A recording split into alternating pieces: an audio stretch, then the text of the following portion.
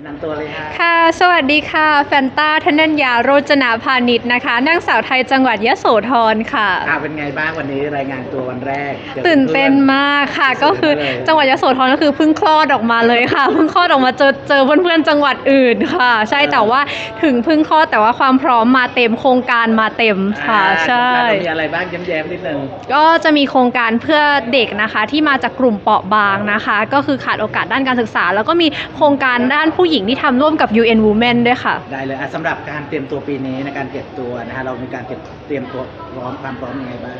ค่ะทำการบ้านคือปีเนี้ยค่ะ ก็คือทางจังหวัดแฟนต้าเนี่ยก็มีการทำการบ้านเกี่ยวกับ soft power ของจังหวัดตัวเอง เพื่อที่จะโปรโมทโลโก้สู่ global เพื่อได้ดีที่สุด แล้วก็แอบทำการบ้านของอยุธยามาด้วยใช่ค่ะ เพราะว่า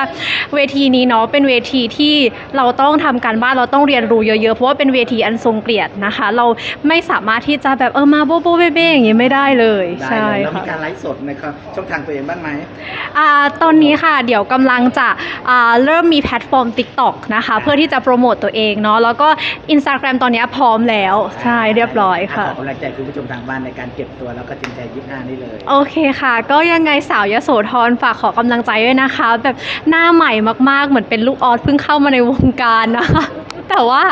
ถึงเป็นลูกออสแต่ว่าโครงการพร้อมสปีดพร้อมนะคะ ได้เลยอะมีด้อมหรือไอจีไหมฝากเขาด้อมเลย โอเค ขออนุญาตฝาก Instagram นะคะ fanta t n y f a